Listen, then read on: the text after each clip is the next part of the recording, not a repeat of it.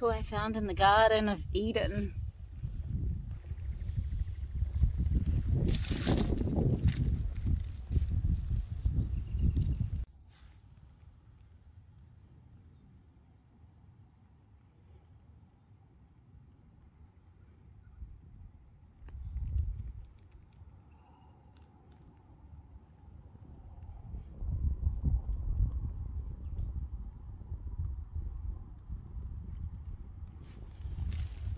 interesting.